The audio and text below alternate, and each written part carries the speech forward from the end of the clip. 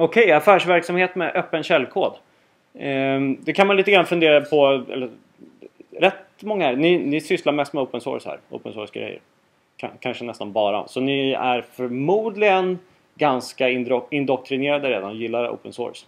Men man skulle kunna, om man inte gillar open source så kan man tänka sig vad är det för smart idé med att använda open source grejer eh, som man liksom inte kan sälja på samma sätt som eh, proprietära produkter. Och, sådär. och jag tänker gå igenom några aspekter av det här. Eh, och först så ska vi kolla på varför man ska välja antingen open source eller proprietärt. Eh, som, både som leverantör, någon som bygger webbplatser och sånt där. Eh, och som kund, slutkund. Jag ska ta fram mina anteckningar. För jag har vissa saker som faktiskt inte står i presentationen här. Eh, jo då, sött. Eh, varför skulle man vilja välja open source?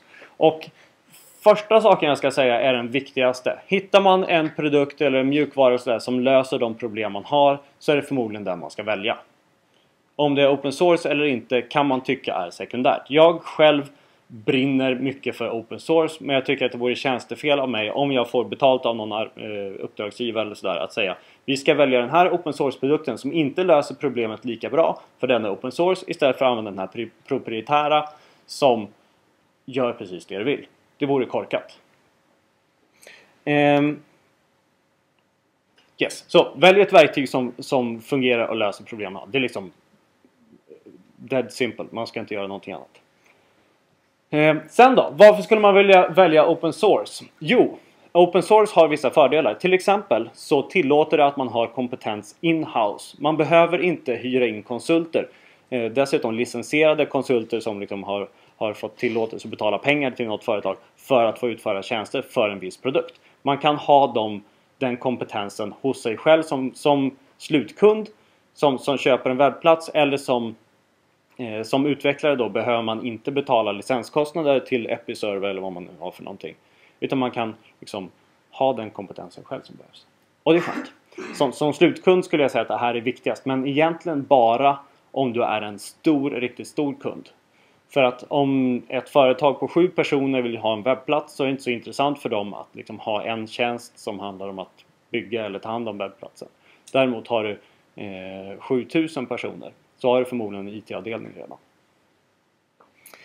Eh, om du har open source så säkerställer du att du kan möta de kraven som finns. Du har alltid möjlighet att gå in och modifiera och ändra koden, skriva egna plugins, göra saker som behövs. Med proprietär programvara så får du inte göra det. Det är ett kontraktsbrott. Du hyr den programvaran mer eller mindre eh, och, och, du får inte ändra i den. Du får inte gå in, om du hyr en bil så får du inte gå och mecka med bilen. Ehm, är man, eller I många lägen så kan man ändå få tag på utvecklare som kan göra de anpassningar som krävs men det är inte säkert att det går och de kanske tycker att nej, det här funkar inte eller det är inte värt det ekonomiskt eller vad man nu vill. Eh, de spärrarna finns inte med open source. Eh, med proprietär programvara så löper man en viss risk att leverantören, de Episerver eller vad man nu har för någonting, går i konkurs. Och eh, liksom, produkten slutar finnas. De som hyr ut bilen till dig slutar finnas och då kan du inte fortsätta hyra bilen. Det är ganska jobbigt om du är beroende av den bilen. Då får du skaffa en annan bil och det, i fallet med bil så är det ganska lätt gjort. Men om det är en webbplats så kan det vara mycket pengar som går åt till att byta till ett annat system. Med open source så äger du koden. Och du kan fortsätta använda den, du kan modifiera den och göra vad du vill med eh, Ganska trevligt. Igen, det här är någonting som förmodligen är mest användbart för stora företag, stora slutkunder. Eh, eh, visserligen, går, går leverantören i konkurs så kan man även som litet företag fortsätta använda produkten. Man kan inte fortsätta vidareutveckla den eller underhålla den för att det har man inte resurser till stora företag kan fortfarande liksom göra eh, uppdateringar och utvecklingar.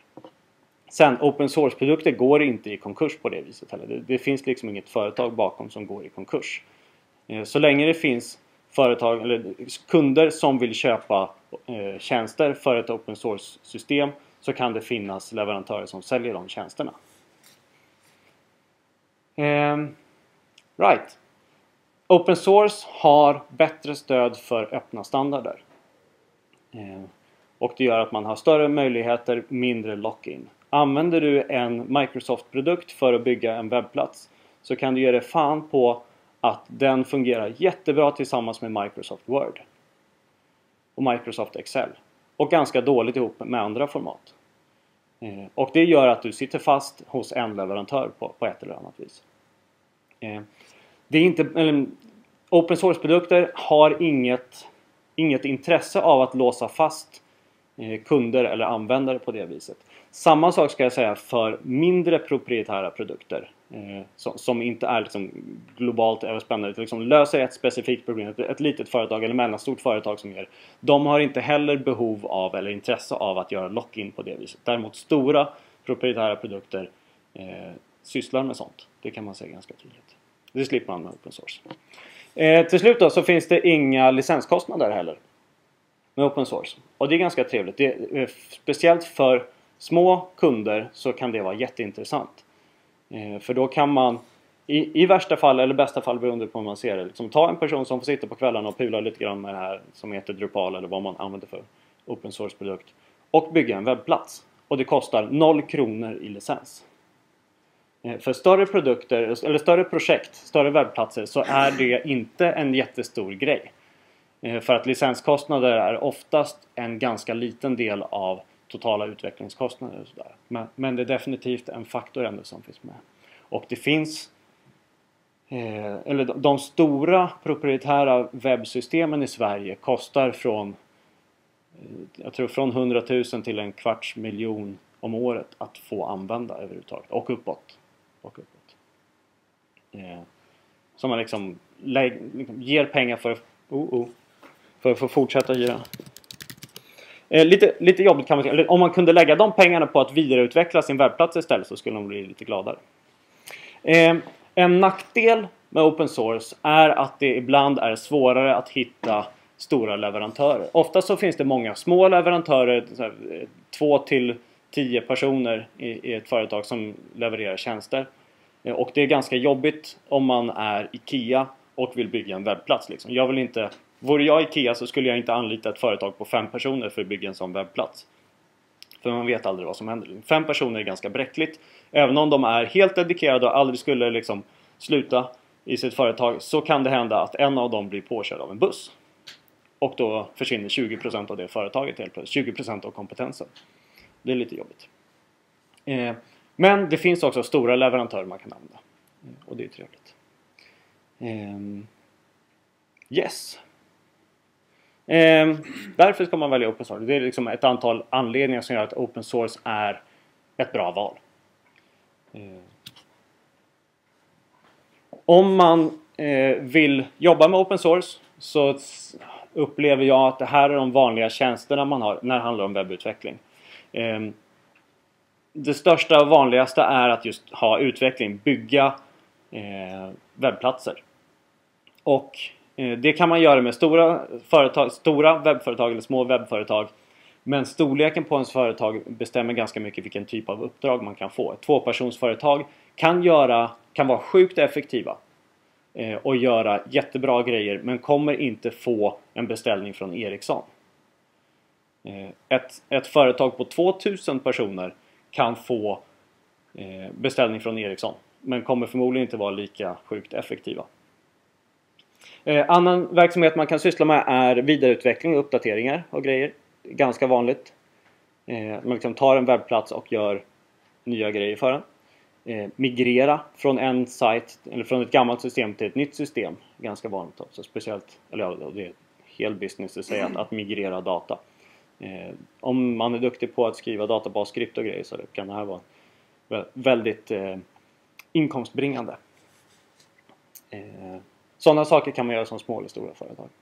Drift, driva webbplatser fungerar bäst för stora företag för man måste ha backup-verksamhet, man måste ha någon som kan svara i telefon hela tiden och ta hand om bekymmer när det dyker upp. Men det är en sån grej man kan syssla med. Utbildning är någonting som fungerar både stort och smått. Eh, jag tycker att utbildning, jag håller på med utbildning, hepp. Eh, jag tycker att utbildning är väldigt praktiskt för ett tydligt avgränsade projekt. Man kan ha fyra dagar som man håller en utbildning och sen är det klart. Det ringer inte en kund eh, två veckor och två månader, kanske två år senare och ber om nya saker. Liksom tycker men det här fungerar inte nu som du gjorde. Vad, så, här, så måste man ta hand om det. Eh, så utbildning är, skulle jag säga, ett bra sätt att eh, bedriva liten verksamhet. Eh, behovsanalyser är ganska intressant också. Då, då sitter man gör begränsade insatser, eh, hjälper kanske stora kunder. Där, där kan ett tvåpersonsföretag vara intressant för även tänkte säga Saab, men Saab är väl inte så intresserade alls nu längre. Ehm, men säg eh, Socialdemokraterna kanske vill bygga en ny webbplats. Då kan ett tvåpersonsföretag vara intressant att kontakta för att göra en analys tillsammans med dem skriva någon form av kravspecifikation eller bedöma vilket typ av verktyg som är bäst eller något sånt där. Yes. Eh, potentiella problem tänkte jag prata lite grann. Nu hoppar jag ganska mycket. Det, det här är en ganska splittrad presentation. Ehm, det handlar om open source och det handlar om affärsverksamhet. Det handlar i viss mån om Drupal också. Och nu tänkte jag prata om potentiella problem så som jag har upplevt dem eh, i, i Drupal-världen när jag jobbat med Drupal-projekt. Och jag tänkte också prata om vad man kan göra åt dem. Ehm, och det här är det jag tänker säga. Liksom, om man ska avrunda till någonting så liksom, använd agila metoder. Eh, jag hoppas att ni har hört talas om agila. Har, har någon här inne inte hört talas om agila metoder? Bra. Eh, gör det. Sen är det mycket svårare än att bara säga gör det. Liksom. Att, att faktiskt göra det kräver jobb hela tiden, men jag återkommer till det. Eh, de är bra. Eh, de här problemen är presenterade lite grann i fallande storleksordning. Eh, så att det viktigaste först och sen blir de mindre och mindre viktiga.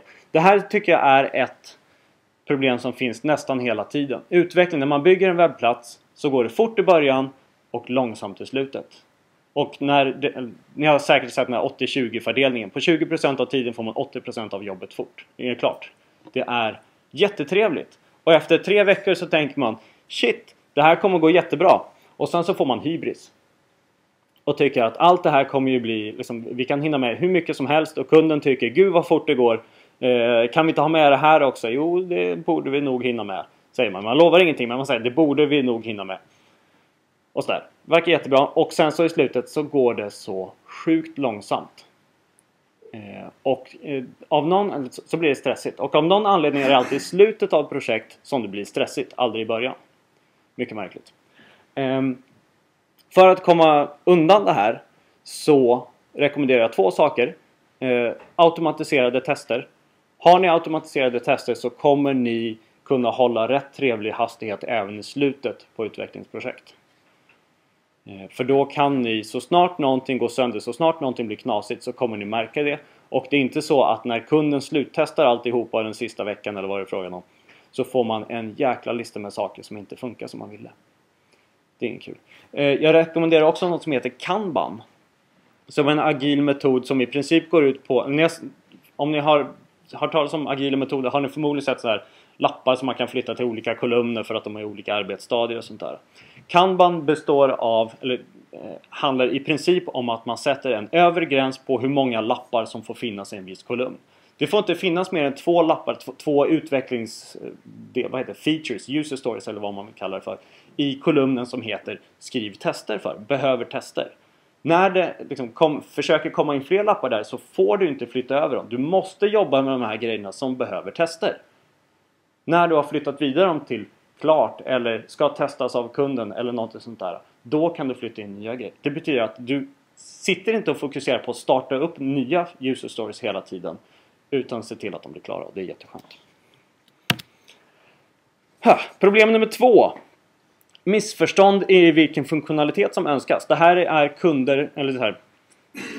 Ganska ofta händer det när man visar någonting för kunden. Så här, nu, nu har vi blivit klart det här i slutet på den här sprinten. För på Node 1 i alla fall delar vi upp utvecklingen i sprintar och i slutet på varje sprint så demar vi för kunden. Det här är det vi har gjort nu. Och sen så säger kunden Ja fast jag trodde att det skulle komma med en filutforskare här också. Eller jag trodde att eh, det skulle vara så här. Eller Eh, kan man inte göra så här också? Det hade vi ju utgått ifrån. Och så där bara, nej. Eh, det, det är inte med nu. Ja, kan, kan ni göra det? Ja, det kan vi göra. Eh, men det kommer ta tid. Och det är lite jobbigt. Liksom, då, då, blir, då växer uppgifter. Det är en av de sakerna som bidrar till att det går fort i början och långsamt i slutet. Förslag för att lösa det här är att dema ofta. Se till att liksom, visa vad man har gjort för kunden. Prata direkt med kunden. Mellansteg i kommunikation är dåligt. Ta bort så många mellansteg som möjligt. Sen ska man inte ha kunden... Eh, jag tror... Ja, jag tror att det bara är i speciella fall som det funkar att faktiskt ha med kunden under utveckling. Så som en del agila metoder säger. Eh, men eh, man ska ha... Utvecklare ska prata direkt med kunder, med, med beställare när man demar saker eller när man diskuterar vilka funktioner som ingår i det vi håller på att göra just nu. Och det sista, sista förslaget här eh, tycker jag är ganska eh, viktigt. Att definiera vad som menas med att den här user storyn, det här uppdraget, den här delen av det man bygger är klart. När vi har eh, en kalender, liksom, när kalendern är klar så ska det i, i högerspalten finnas en sån här grej. Du ska ha med alla datum för den aktuella månaden. Om man klickar på ett datum så ska det här hända. Om man fyller i det här och tycker okej okay, så ska det dyka upp en ny sak i kalendern. Det är det som betyder att kalendern är klar. Att, att faktiskt ta sig tid att skriva ner de här stegen är, känns jättejobbigt till en början. Eh, men när man om, om, man tar sig den tiden tillsammans med kunden så kommer kunden komma på de här sakerna. Jo fast det ska ju vara en sån här pop-up kalender också som man kan välja. Jaha, det funkar inte, räcker inte med en drop-down för att välja datum sådär. Uh, eh, nej, vi vill ha en pop-up. Okej, okay, då är det med också. Då vet vi att det ska vara med i utvecklingen. Uh, och det gör att man slipper de här missförstånden i slutet. Att, att kunden säger Men ni sa att ni skulle göra det här. Ja, fast vi trodde att det var det här som avsågs. Jo, men det är ju klart att det här, det här säger kunden. Och så, så blir folk missnöjda. Utvecklarna blir missnöjda för de blir, känner att de måste lägga extra tid utan att få betalt för det. I värsta fall. Kunder blir missnöjda för de känner att de betalar och får inte det de vill för det. Den här är ju nästan samma sak. Feature creep. Det har ni aldrig hört talas om och aldrig råkat ut för va? Att det liksom dyker upp dyker upp nya saker som ska till så här in i den här listan med grejer som ska utvecklas. Eh, det finns tror jag alla projekt. Och det leder till missnöjdhet och tidsbrist om man inte är vaksam. Ehm, och, eller, jag tror att man ska ha sånt där. Feature creep, feature creep är bra på sätt och vis för det innebär att man är öppen för förändringar. Att man låter kunden komma med nya saker som ska in i utvecklingsuppdraget. Men för att det ska fungera så måste man också visa för kunden Kolla det här är de sakerna som du har sagt innan ska vara med. Och vi tror att det här kommer ta till slutet av maj att bli klara med. När du lägger på det här också så betyder det två veckor till. Och antingen betyder det att vi ska jobba två veckor längre, du betalar två veckor mer med konsulttid, utvecklingstid. Eh, och det kanske inte ens går för att vi har andra projekt som börjar och sådär. Eller så betyder det att du ska plocka bort två veckor med andra saker som ska bort. Eh, och så länge man är tydlig med det eh, så kan kunden prioritera och välja det man vill ha. Det kan i viss, eller ändå leda till att kunden blir missnöjd för de tycker jag vill ju ha allt det här. Eh, eh, och ni har inte tid att utföra det eller det kostar för mycket eller vad det är frågan om. Men, men då har man den en, en, väldigt rak och öppen kommunikation om det i alla fall. Eh, två saker till som man behöver. Att mäta sin velocity, att ha en bra uppskattning om hur mycket man kan jobba med i varje sprint. Så att man säger till kunden att ja, förra, förra sprinten och för förra sprinten så jobbade han blev med ungefär så här många user stories eller features eller vad man kallar det för. Och vi tror att vi kommer hinna med så här många till under de kommande två veckorna. Vad man har. Eh, och det betyder att det här tar till slutet av maj. Eh, och nästa, slutet på nästa sprint kan vi göra en lite bättre uppskattning men det här är det bästa vi har just nu. Eh, Viktigt. Det är sådana här formala, liksom, det känns som administrativa grejer som är rätt så tråkiga. Men det är jättenyttigt och det är nyttigt som feedback för en själv som utvecklare också. kan jag säga. Eh, sen, ha tydliga demosteg som i det förra. Att ha nedskrivet, vad innebär det att den här featuren, den här user storyn är klar? Eh, det motverkar feature creep. Kunden och utvecklaren ser på uppgiften på samma sätt. Och här kommer den, den sista men också den största egentligen. Svåraste. Att storleksbedöma projekt är skitsvårt. Det kommer en kund och säger jag vill ha en webbplats, hur mycket kostar det? Och då kan man säga, jag vet inte. Det kan kosta, det beror på hur lång tid det tar. Och det kan ta från en månad till ett halvår. Det är min gissning just nu, men jag är inte säker på det ens. Ja, säger kunden. Det var ju ett ganska stort spann, 600% osäkerhet. Eh, eh, ja, säger man. Och sen så sitter man ner och pratar med kunden och får bättre och bättre uppfattning om vad det är för ett projekt de vill ha. Och ju större projekt de har, desto osäkrare blir det. Och man kan liksom säga den här delen tror jag tar så här mycket tid, den här delen så här mycket tid. Och sen hamnar man någonstans ändå där det är fel. Och du vet det fan hur det går till alltså. Det är skitsvårt att storleksbedöma projekt. Och ni ser, jag har skrivit ett frågetecken här. Jag har ingen bra lösning på hur man gör. Men jag har ett antal idéer i alla fall. Eh, det som inte funkar det är att ha någon form av fast mall eller någon fast algoritm för att räkna. Liksom man, man gissar någonting och så tar man det gånger två. Det funkar inte. Så kan man inte göra. Mina erfarenheter säger tydligt så kan man inte göra. Um, man kan inte heller ta in experter eller andra utvecklingsteam eller sådär för att låta dem göra tidsuppskattningar. Det kommer att gå dåligt. Det blir fel. Ehm. för att folk ser på utvecklings, utvecklingsuppgifter på olika sätt och gör olika uppskattningar. Ehm, det som kanske funkar det är att ehm, använda det som heter planning poker. Har ni hört talas om det?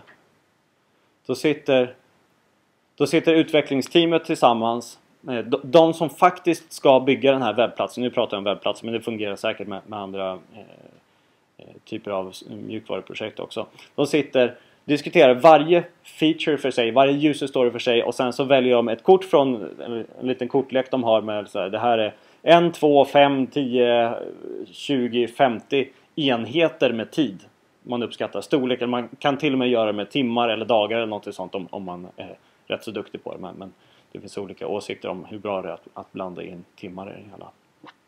Eh, och sen så väljer alla ett kort och sen så visar man liksom, ja, men varför trodde du 20 timmar när jag trodde 2 timmar? Och sen så snackar man med varandra och hittar de här bomberna, minorna som finns dolda i utvecklingsprojekt som man inte ser från början förmodligen. Eh, för att den här personen vet att men om vi använder den här lösningen som du föreslår som går på två timmar då finns det ingen möjlighet för oss att använda eh, Varnish och Reverse Pro Proxy Cache. Och det kommer inte funka med den här sajten för att den här kommer ha så jäkla mycket trafik. Så vi måste ha eh, Varnish eh, och Reverse Proxy på första sidan. Shit, säger jag. Det tänkte jag inte på. Och sen så diskuterar man vidare och sen så kommer man så småningom fram till gemensamt, gemensam uppskattning av hur svår en viss del är. Det är möjligt att det fungerar. Jag har inte använt det fullt ut på något projekt ännu och det är möjligt att det fungerar men jag är ändå lite skeptisk. Någonting som jag tror kan fungera bättre är att bygga prototyper snabbt. Och här har Drupal en, en stor fördel för att om du tar en eftermiddag eller en dag med Drupal så kan du bygga en prototyp till de allra flesta webbplatser. Även stora komplexa grejer. Jag skulle kunna bygga en prototyp för Economist på en eftermiddag förmodligen. Som inte, den ser ful som stryk, saknar vissa funktioner och sådär. Men liksom ungefär så här tänker jag att webbplatsen ska fungera. Och medan man gör det så kommer man upptäcka de här dolda farliga grejerna som riskerar att explodera när man håller på att utveckla och det tar en vecka mer tid att lösa. Och de här dolda grejerna, de, de är skitsvåra att hitta.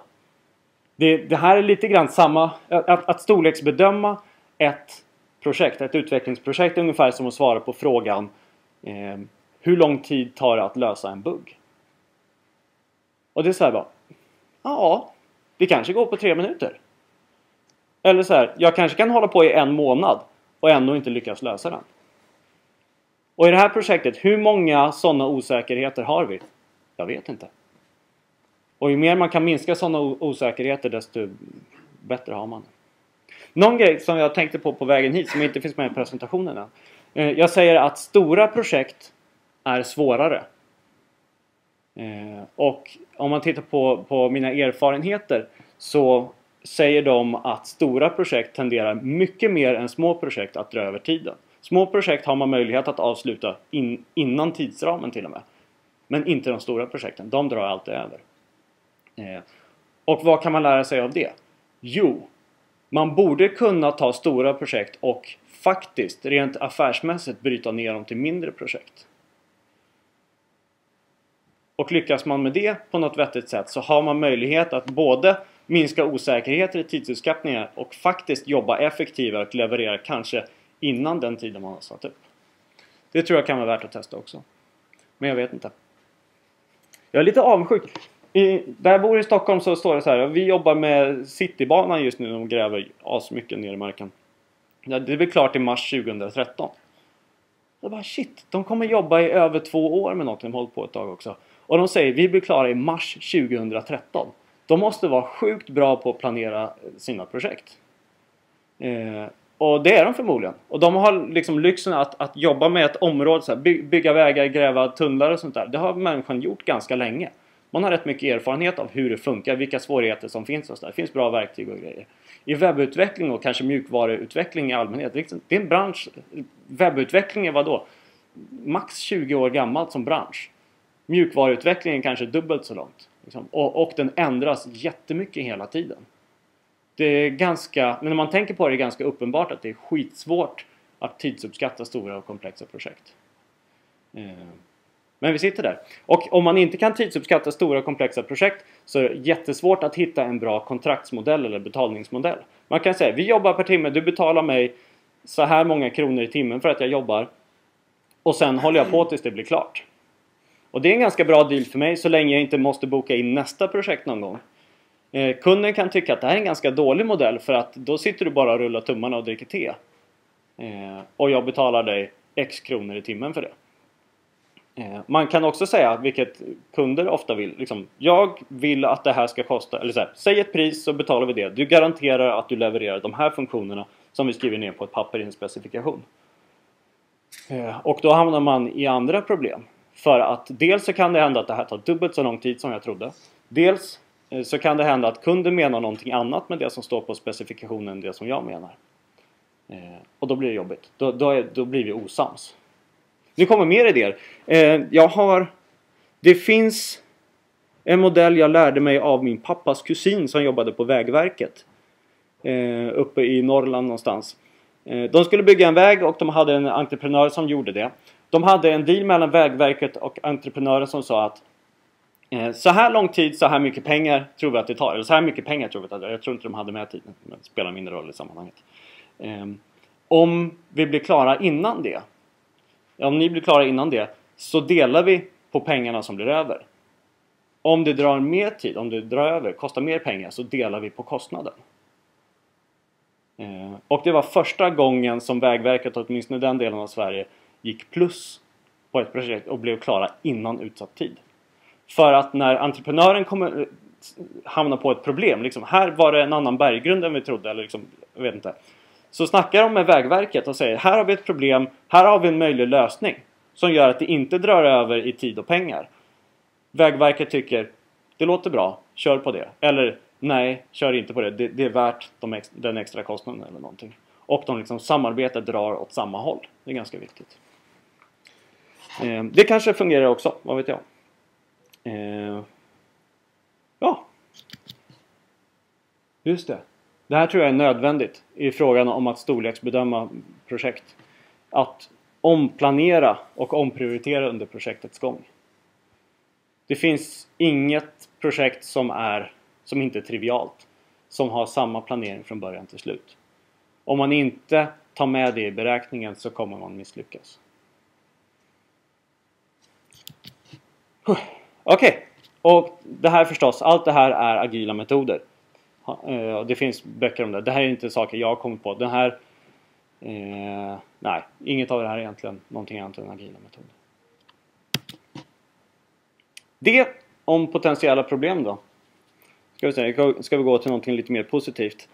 Lite allmänna tips om eh, saker som kan funka bra baserat på mina erfarenheter eh, och eh, vad alla andra säger. Eh, det sammanfaller och det känns skönt. Det ger lite förtroende till de här tipsen. Och sen ett tips till efter de här som är rätt så intressant. Eh, Så här, tips nummer noll, ni har hört det förut, använd agila metoder. Och det är jättelätt att säga och det är jättejobbigt att lyckas med. Man tycker sådär, alltså, måste vi verkligen ha med kunden på den? Kunden säger han kan inte komma på demomötet, hon kan inte komma på demomötet på fredag. Eh, ska vi inte bara hoppa över det? Vi vet ju ändå vad vi håller på med här.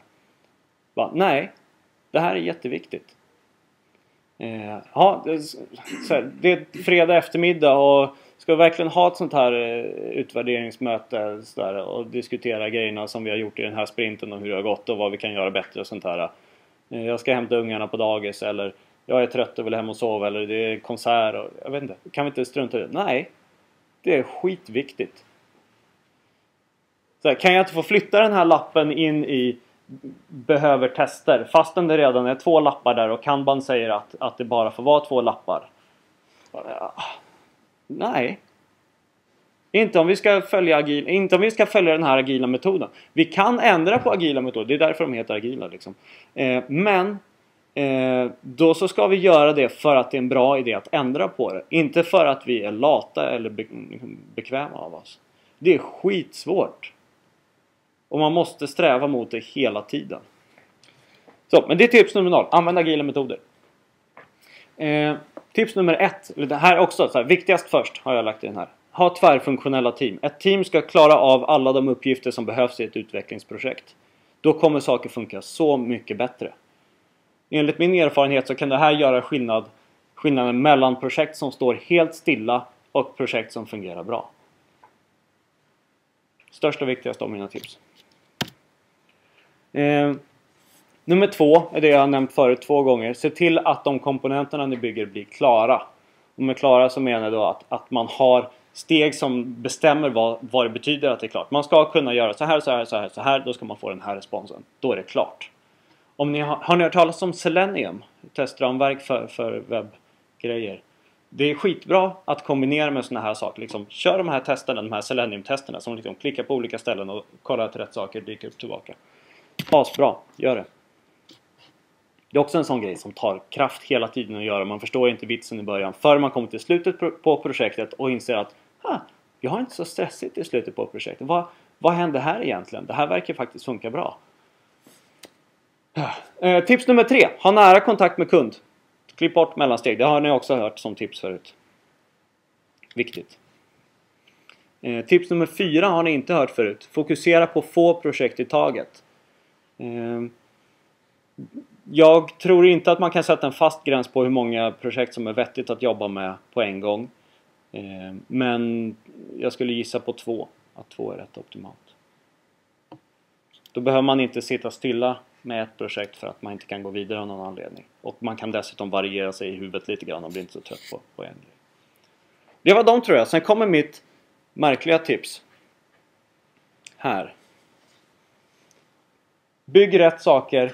Eller bygg rätt och bygg bra. Gör bra grejer. Um, och det är här, ganska uppenbart att man ska göra. Jag, jag har... Eller ja. Um, på sätt och vis är det här ganska kontroversiellt. Om man kollar på eh, effektivitet hos utvecklare. Det finns studier man har gjort på hur, hur lång tid det tar för eh, mjukvaruutvecklare att lösa ett problem så är det inte alls ovanligt att det skiljer en faktor 10 mellan två personer. En person kan göra 10 gånger så mycket på samma tid som någon annan. Eh, och att då träna sig till att göra saker rätt och göra saker bra betyder att man kan liksom bli väldigt mycket effektivare. På sätt och vis betyder det också att man, man ska undvika att, att anställa eh, personer som inte är så jäkla effektiva. Men det tänker jag inte gå in på för det blir knasigt. Ehm, jag har tagit lite grann som, som princip för mig själv. Har ni hört talas om eh, Kants kategoriska imperativ? En filosof eh, som levde för länge sedan någon gång, eh, Immanuel Kant.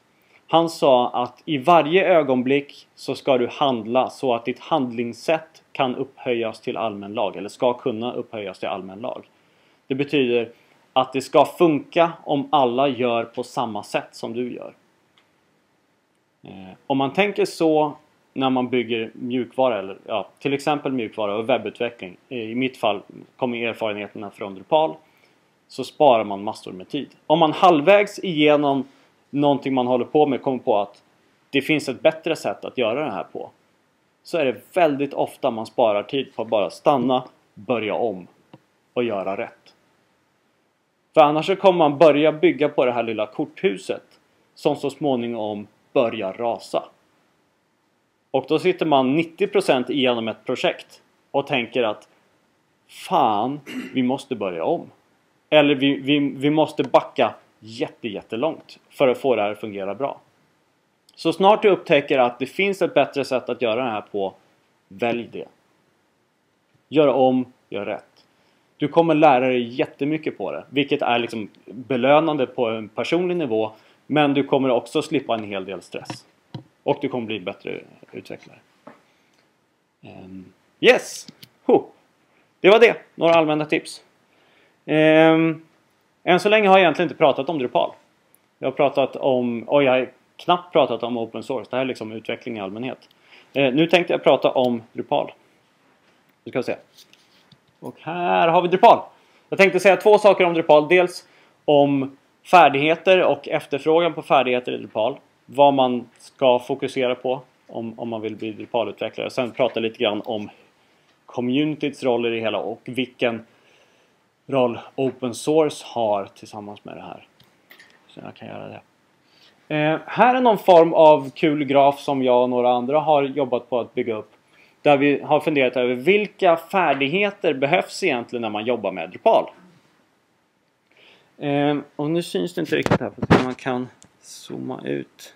Jag tror man kan det. Det kan jag. tar den här. Det blir... Äh, där. Fullscreen. Jättebra. Ja, nu syns det inte riktigt heller. Never mind. Eh, nej, jag blir tvungen att zooma in. Jag är ledsen. Eh, vi har delat upp dem i olika färger och fina grejer och sånt där. Ehm, som jag sa i det förra föredraget. Det finns tre typer av Drupal-utvecklare i princip. Det finns de som är site builders som klickar ihop webbplatser. Det finns de som är kodare som skriver kod och utvecklar moduler och grejer. Det finns de som är temare och eh, eh, får Drupal att se snyggt ut. Alla de behöver grundläggande site building färdigheter. Det som står här ute, undrar man kan... Ja, det kan man. Kolla vad fint. Everything below requires basic site building. Mm. Allting som ligger liksom under den här gränsen någonstans kräver att du kan site building i Drupal. Det är den viktigaste färdigheten man har att lära sig överhuvudtaget. Eh, och eh, allting under, den här, under det här strecket kräver dessutom att du är någorlunda bra på att koda för Drupal. Så jag skulle säga att eh, två färdigheter som är viktigast om man vill bli en anställningsbar Drupal-utvecklare så är det 1. Lär dig åtminstone grundläggande sitebuilding. 2. Lär dig grundläggande kodning för Drupal. Eh, kan du de två grejerna så kommer väldigt mycket annat ligga inom räckhåll och du kan bli en jätteduktig temare, du kan bli en jätteduktig eh, sitebuilder, vad heter det, sitebyggare och en jätteduktig kodare. Eh, och hur lär man sig sådana grejer då? Kan man fråga sig. Ska jag säga några ord om hur man lär sig sånt?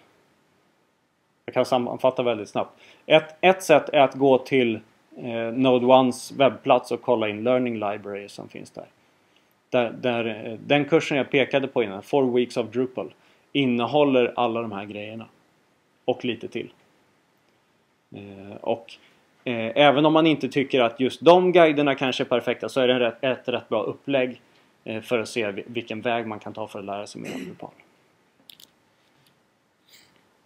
Eh, vad kan man mer säga om, eller så här, om här, eh, färdigheter och Drupal? Det saknas Drupal-kompetens. Mycket. Eh, folk som kan Drupal kommer att få jobb. Eh, de kan antingen bli anställda av webbutvecklingsföretag eller så blir de frilansare och tjänar pengar på det viset. Det eh, efterfrågan på Drupal-kompetens kommer fortsätta öka så långt jag kan förutse i framtiden inom webbranschen vilket betyder vadå, två, tre år eller någonting. Men förmodligen efter det också. när jag började hålla på med Drupal så eh, lyssnade jag rätt mycket på poddsändningar från ett av eh, jordens trevligaste Drupal-företag. Eh, och de berättade om de här Drupal-konferenserna, internationella konferenserna. Hon säger där står det företag och kastar pengar på en och säger vi, vi har pengar, kan du Drupal? Och jag tyckte det låter rätt roligt men det är i princip så det går till i många lägen. Folk skriker efter Drupal-kompetens. Det här är ett, Drupal är ett kraftfullt verktyg men det finns inte tillräckligt många som kan hantera det. Och det beror i sin tur på att eh, Drupal är, och open source-världen är för dålig på att ha kostymer på sig. Eh, vi kan inte sälja. Eh, många proprietära produkter har liksom säljavdelningar som går ut och, och presenterar fina powerpoints och grejer till folk och har kostym och slips på sig. Vi har nördar i t-shirts med, med konstiga meddelanden på som är jävligt duktiga på att bygga bra grejer men inte på att sälja det. Eller få det att se snyggt ut för den delen. Vilket gör att många missar det. Nu börjar det svänga. Eh, Drupal har, två, som jag sa innan, 2% av Eh, världens en miljon största webbplatser eller någonting sånt. Eh, I Sverige är det, skulle jag säga, betydligt mindre. Speciellt om man tittar på liksom, köpta webbplatser som, som, som är beställda av företag eller organisationer. Eh, det, det finns jag tror att det är Episerver, Essenic och SharePoint som har ungefär en tredjedel var. Kanske lite mindre. Eh, Polopoly är ett system också som har ganska mycket. Sen finns det liksom några procentenheter som Drupal, Wordpress och Joomla delar på i princip som, som är open source-verktyg. Nu håller det på att ske en strömning över från de här proprietära systemen till exempelvis Drupal. Vilket betyder att på några år så har det gått från, jag vet inte, 0,1% av andelen köpta webbplatser i Sverige till 1% och efterfrågan har tiodubblats på Drupal-kompetens. Och då ligger vi fortfarande på 1%. När det går upp till, jag vet inte, säg 5%, wow vad mycket. Eh, då betyder det att efterfrågan har 50-dubblats. Eh, det, det, behövs kompetens och det kommer fortsätta behövas kompetens. Det är min prognos. Så mycket om det. Till slut Eh, open source och Drupal och såna här grejer. Eh, det här skulle jag egentligen vilja formulera om. Det här låter lite väl kaxigt. Men att vara kompetent är att del, dela med sig i Drupal-communityt. Och jag skulle säga open source-communityn i allmänhet. Kan man saker så delar man med sig och om man delar med sig så kan man saker. Ehm, att jag publicerar videor online där jag berättar så här fungerar Drupal gör dels att jag lär mig asmycket men sen så tror folk att jag kan ännu mer. Liksom, jag uppfattas som någon form av auktoritet för att det finns så många människor som har sett att ah, det här är Johan Falk. Han, Eh, jag har lärt mig hur modulen Views fungerar av honom. Han måste vara jätteduktig. Och sen så får man eh, förtroende. Man blir uppfattad som kompetent. Och det, liksom, I viss mån är man kompetent. Det finns säkert många andra som är kompetenta också. Men man får en man får goodwill och man får eh, gott anseende. Eller, hmm. man blir uppfattad som kompetent om man delar med sig. På samma sätt, om man ska anställa någon Eh, att jobba med Drupal på, på ett litet företag så vill man se, inte bara kan den här personen, vet den här personen lite grann hur Drupal fungerar utan också vet den här personen, är den här personen en del av Drupal-communityt? Och någon som kan säga, jo men jag, jag är co-maintainer för den här modulen kommer ha en eh, jättebra grej på sitt CV i Drupal-kretsar. Jämfört med någon som säger ja men jag kan bygga en del saker med Drupal. Nu, nu är läget sånt att man kommer få jobb i alla fall för att det saknas Drupal-kompetens så pass mycket. Men, men, att vara engagerad är en jätteviktig grej. Eh, jag pratade med en kompis som jobbar på Ericsson och har en del saker att säga till om där. Eh, han sa, eller de använder Git, versionshanteringssystemet Git. Har ni hört talas om det? Bra, bra system. Eh, han säger nu har det blivit hett. Liksom, folk har insett att Git är bra och därför har det dykt upp massa företag som säljer Git-tjänster. Liksom. Vi, kolla, vi kan hjälpa er att hålla ordning på er Git på, på Ericsson. Och han säger om, om Ericsson vill anlita ett sånt företag så kommer man liksom fråga okej okay, Nummer ett, vad kan ni ge oss som inte redan finns på git.org? Som vi inte liksom kan, kan få själva som är öppet tillgängligt. Och två, vad bidrar ni med till Git-communityt? eller Git-projektet? Vad, vad är era bidrag till det här? Och om någon då säger äh, äh, äh, så vet Ericsson att ja, de, de här kommer inte ge oss kommer inte kunna ge oss det vi behöver om vi behöver det. Om någon säger ja men jag var med och skrev den här merge det här merge-skriptet som gör de här sakerna tillgängliga som nu är en del av Git. Då tänker man, här är någon som vet vad, vad han pratar om eller hon pratar om och kommer kunna lösa svåra problem för oss om det behövs. Och det är helt sant. De personer som delar med sig är de personerna som är kompetenta. Och alla vinner på det. Det är det bästa också. Yeah! Det var det. Ska vi se.